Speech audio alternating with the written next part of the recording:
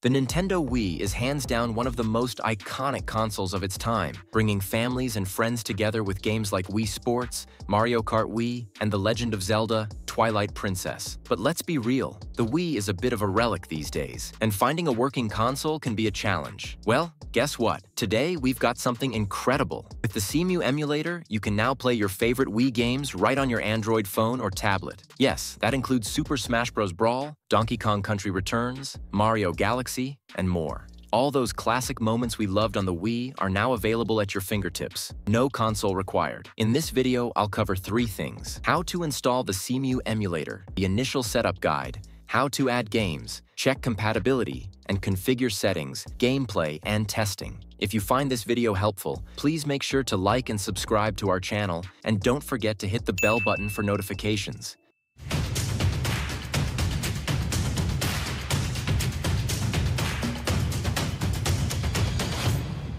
Now, let me explain what Cemu is. It's one of the first Wii U emulators that successfully booted games. Earlier, this was available only for Windows and Linux, but after much waiting, the Android emulator is now available. It's worth mentioning that Cemu is still under development, so you may experience some performance issues. But I have good news. Recently, Cemu released version 7, and a lot of issues have been fixed. Some games run much better now, and graphical bugs have been resolved. Now, let's get into the installation process. First, download the latest version of Cemu from the official GitHub page. Once it's downloaded, install the emulator and open it. The first time you open the emulator, you will see an empty screen because we haven't added any games yet. To do this, click on the gear icon in the top right corner. Here, select Add Game Path. Navigate to the location in your internal storage where you've stored your Nintendo Wii games. To give permission, click Use this folder and allow access. As I mentioned earlier, this emulator is still under development, and I think they may have released the application in a hurry because I didn't find many useful options like graphic settings or control customization. However, under Input Settings, you can select control layers like Wii Gamepad, Pro,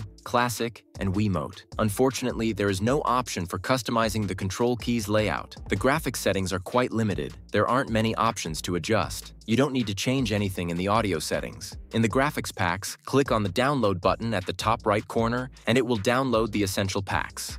Cemu supports either physical game dumps in WUD or compressed WUX formats, as well as game dumps converted to the Loadiine format. At this stage, the emulator can only support some 2D, low-end Nintendo Wii U games. Hopefully, in the future, we can all enjoy the full experience of the Nintendo Wii on this emulator. Thank you for watching.